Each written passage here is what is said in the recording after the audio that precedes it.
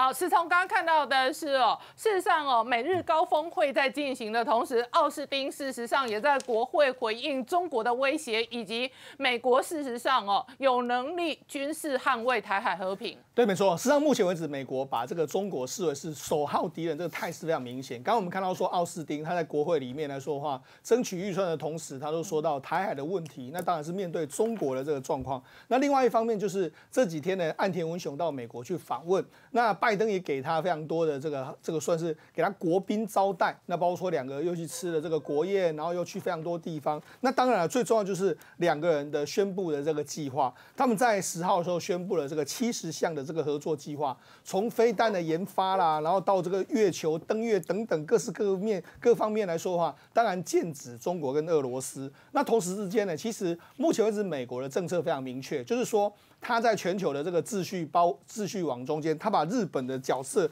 提升了越来越多。所以事实上，这次岸田跟拜登见面，不是只有谈到台海或是这个东亚的问题，他还谈到了这个加沙走廊、以色列的问题啦、乌克兰的问题，还有俄罗斯的问题，还有北韩的问题等等。那尤其是拜登在整个会议结束之后，他就说呢，这是我们这个美国跟日本这个从这个之前以来最大的这个结盟以来最大的这个升级计划。那这里面来说，包括说我刚。刚不是说有七十项吗？包括说升级美国驻日本的这个军事的指挥权，也就是说开战的时候呢，可以跟这个日本的军方更进一步的快速的反应。另外一个两国呢，就是日本跟这个美国要加跟澳洲合作建立新的所谓的空中飞弹的这个防御网。另外一方面来说的话，日本的太空人。也要加入美国 NASA 的这个登月任务，所以你可以看，他们可以说是从地面到太空，全部都是全面合作的一个状况。那尤其是日本这几年，当然态度一直不断的改变，包括说像和平宪法的改变，然后提高国防预算等等之类的。所以未来显然日本会扮演一个非常重要的角色。那除了这个美日高峰会之后，紧接而来就是美日飞。那美日飞来说的话，三个国家呢在会后也发表了这个声明。那这声明里面来说的话，当然又批评北京你在南海方面的这个。蠢动，然后又重申了这个台海的这个台海的这个重要性，尤其是菲律宾就说呢，这个中中中方呢阻碍菲律宾在仁爱礁运补的这个动作是危险，而且又是破坏稳定的这个情形。那当然了，他们也重申了中非的这个问题来说，在二零一六年的海牙国际仲裁。仲国际法院已经仲裁了，就该争议争议性的这个海域里面是属于菲律宾所有，所以他们再重新这个把这个立场再重新申申诉一遍。因为美国目前为止跟菲律宾还有跟日本都签有所谓的防御的这个协定，他这一次这个。这个拜登呢重新重申说，包括钓鱼台是在美日安保、美日的这个条约之下。那菲律宾的很多的这个岛屿也都在菲律宾的这个这个保呃，在美国的保护之下。所以等于是他这次重申呢，对于美国跟啊美国对于这个日本跟菲律宾的这个立场。那你看讲完没多久之后，其实呢，在这个月初月初的时候呢，美国、日本、菲律宾还有澳洲才在这个地方进行联合军演。所以看起来的话，美国。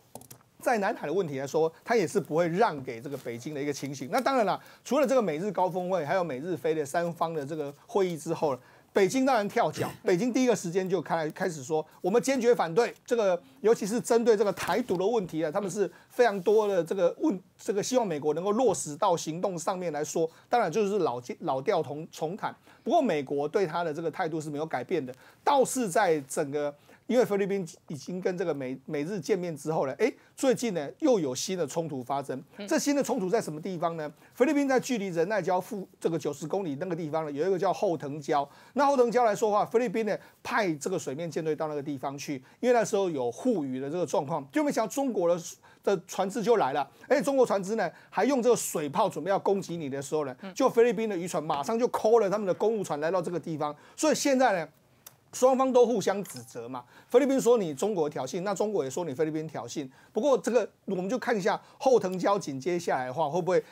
变成是整个这个南海的这个新的引爆点？好，那讲完了这个美日高峰会，还有这个美日菲的三方会谈之后。哎，这几天的时候呢，我们赖清德的总统当选人呢，他也在这个我们这国内呢见了这个前亚太助理国务卿呢，这个薛瑞福。那么薛瑞福这次来台湾，其实他当然是代表了美国这个这个表达美国的立场之外，其实薛瑞福这一次来台湾看了非常多军工产业。嗯，他前几天到了我们的汉翔跟这个雷虎去看了。嗯，这个部分来说，这次他来了，根据我们得到消息，是他准备要跟我们国内的国防产业呢谈一些更多合作的机会机会，包括生产炮弹啊，或是无人机的合作啦、无人潜舰的合作等等，这些都都是未来的可能的发展的方向。好，那我们讲到实质上在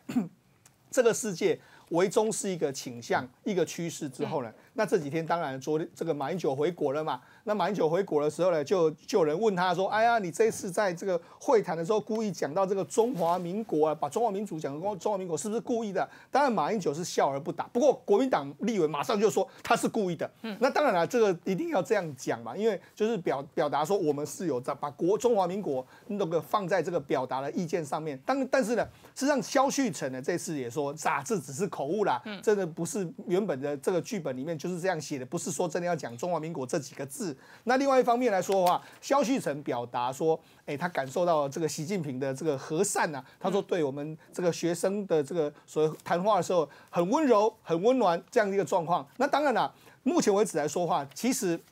两岸之间的这个状况，习近平或者是说中方似乎有意在五二零之前呢，就松绑是不是陆客的这个状况？嗯，那这个某些程度，我们看这几天台北股市有经有在反映这个状况哦。这到底是中国会不会在五二零之前就松绑？那这算是做个面子给这个给这个国民党来看嘛？那这个松绑时间可能在。五二零之后的这个海峡论坛，另外一方面来说的话，为什么习近平这次会见马英九呢？根据这个《华尔街日报》的报道是说呢，因为我们知道前一阵这个在选举之前呢，马英九不是接过接受了德国之声的采访吗？他不是讲到说两岸的话要相信习近平，我们必须要相信他。就听说了，这是《华尔街日报》报道说，和，习近平跟他的核心看了这个影片之后深受感动。